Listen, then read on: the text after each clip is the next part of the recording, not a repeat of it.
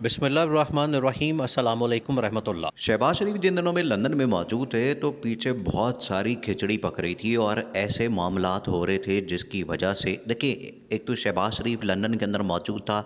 इससे आप अंदाज़ा कर सकते हैं कि शहबाज शरीफ एक डमी वज़र अजम है और डमी हुकूमत है। असल में हुकूमत चलाने वाले पाकिस्तान के अंदर कोई और है और इस्टेब्लिशमेंट और ये अब चीज़ें तो वाजी हो गई हैं कि मुल्क के अंदर हुकूमत कौन चला रहा है। वो आप देखें आईएमएफ के साथ बातचीत हो, अमेरिका के साथ डील हो चीन के साथ बातचीत करनी हो सी पैक के ऊपर बातचीत करनी हो, या Mohammed bin Salman, Saudi Arab UAE तुर्की, किसी जगह कोई बात करनी हो, उसमें इस्टेब्लिशमेंट या जनरल बाजवा, आप सीधा नाम लें जनरल बाजवा, सारी डील करते हैं। तो इससे आप अंदाज़ा कर सकते हैं कि जो शहबाज शरीफ की पोजीशन है, वो क्या है? पीछे असल में जितने सारे इतिहादी हैं, आप देखें, तकरीबन कोई बारह से तेरह इतिहादी मिल मिला के ये हुकूमत इन्होंने बना तो ली है, जिसको ये पीडीएम का नाम देते हैं, ये डेमोक्रेटिक मूवमेंट का नाम देते हैं, और पता नहीं क्या क्या नाम देते हैं। ये इन्होंने मिल मिला के हुकूमत तो बना ली है, और सब लोगों को इकट्ठा कर दिया है, लेकिन ये हुकूमत चल नहीं पा रही। उसकी वजह यह है कि हर बंदा, हर जमात, हर एम एन ए और हर वज़ीर मशीर वो डिमांड कर रहा है। वो क्या डिमांड कर रहा है? उन्होंने जाना होता है। देखिए, ये बड़ा अहम मामला है। ये बड़ी अहम चीज़ है कि यहाँ पर जितने सियासतदान हैं वो हलकों के अंदर जाते हैं, बातचीत करते हैं, अपनी आवाम से मिलते हैं, लेकिन यहाँ पर इनको कुछ मिल नहीं रहा।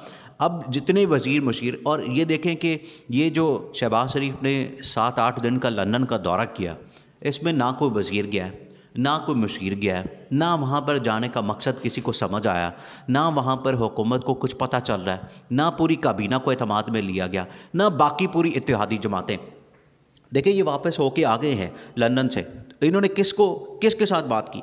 और ये जो अपॉइंटमेंट इस टाइम सबसे अहम तरीन मामला है आर्मी चीफ की, इस मामले के ऊपर इन्होंने कौन सी इतिहादी जमात, इवन के जो पाकिस्तान पीपल्स पार्टी, जो सारा का सारा प्रोजेक्ट चलाने वाला आसिफ अली जरदारी, उसको हेड करने वाला और बिलावल भुट्टो, उसको भी अतमाद में नहीं लिया।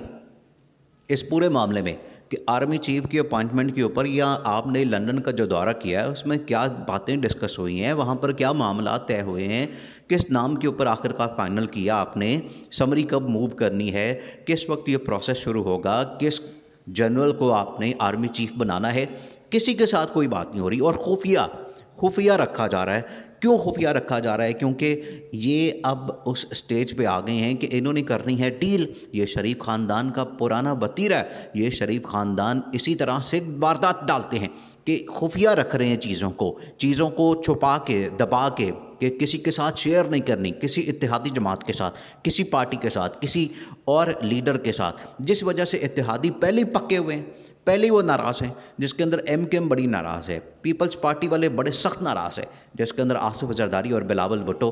अब तो कोई टूर हो जाए, कोई मीटिंग हो जाए कैबिनेट मीटिंग हो जाए या कुछ भी हो जाए, उसके अंदर आपको पीपल्स पार्टी वाले नज़र नहीं आएँगे। इसी तरह से बाकी जितनी इतिहादी जमातें, हर कोई अपनी लाइन ले रहा है। कोई किसी के साथ बैठा हुआ नज़र नहीं आएगा। आप जब भी प्रेस कॉन्फ्रेंस देखेंगे पीआईडी के अंदर, उसके अंदर या तो मरियम औरंगज़ेब प्रेस कॉन्फ्रेंस करेगी, या फिर नून लीग का कोई और आदमी प्रेस कॉन्फ्रेंस करेगा। उसके अंदर पीपल्स पार्टी का कोई आदमी नहीं होता। उसके अंदर एम के एम का कोई आदमी नहीं होता। ए एन पी का, मौलाना का कोई आदमी नहीं होता। इससे साफ़ ज़ाहिर है कि हुकूमत इस टाइम, हुकूमत के जितने इतिहादी हैं, वो सारे इस टाइम बिखर गए तितर बितर हो गए कोई इनके साथ नहीं। सात दिन को। उसकी वजह ये, बड़ी सिंपल सी वजह है कि ये किसी को साथ लेके चलने को तैयार ही नहीं होते। इन्होंने सारे फैसले करने होते हैं अपनी मर्ज़ी से, और चलानी होती है पूरी हुकूमत, अपना पूरा प्रोटोकॉल इन्जॉय करते हैं अपनी मर्ज़ी से, सब कुछ, फैसले भी अपनी मर्ज़ी से। और जो आर्मी चीफ की अपॉइंटमेंट है, जो सबसे बड़ी इस टाइम अपॉइंटमेंट है, उसके ऊपर ये किसी से बात ही नहीं कर रहे, किसी से कोई चीज़ शेयर ही नहीं कर रहे। और वहाँ क्या फ़ैसला हुआ है लंदन के अंदर, जो कि सिर्फ़ शरीफ ख़ानदान, देखें ये शरीफ ख़ानदान किस तरह से हुकूमत में आता है, चलाता है, और मुल्क के ऊपर ये कब्ज़ा करके बैठे होते हैं, शरीफ ख़ानदान। आप ये देखें कि वहाँ पर सिर्फ़ तीन लोग, मरियम नवाज़ नवाज़ शरीफ और शहबाज शरीफ। तीनों के दरमियान ये फाइनल हुआ है कि किस आर्मी चीफ को, किस जनरल को आर्मी चीफ लगाना है। इसके अलावा तो किसी से बात ही नहीं हुई। इस वजह से ये सारी की सारी इतिहादी अब तैयार बैठे हैं। इन्होंने सबने सबने जितने इस टाइम वज़ीर मशीर सारे के सारे बाकी तमाम इतिहादी जमातों से है, वो सारे के सारे तैयार बैठे हैं, अपने इस्तीफ़े लेके रेसिग्नेशन लेके, आखिरकार इन्होंने जाना ही जाना है। जितनी सारी इतिहादी जमातें आई हैं, वो तो किसी के इशारे पे आई हैं, किसी की कॉल पे आई हैं, किसी के मैसेज पे आई हैं। उनको जब वहाँ से मैसेज या कॉल आनी है, उन्होंने बाहर निकल जाना है। ये ये बड़ा एक ऐसा मामला है कि इमरान खान के साथ भी इतिहादी इसी वजह से जोड़े गए और इमरान खान की हुकूमत जब गिरानी थी, इनको इशारा आया, ये बाहर आ गए। इसी तरह से इनकी हुकूमत के साथ शहबाज शरीफ के साथ जोड़े गए कि जब भी ज़रूरत पड़ी शहबाज शरीफ को गिराने की, इनको इशारा आना ये, बाहर आ जाने हैं।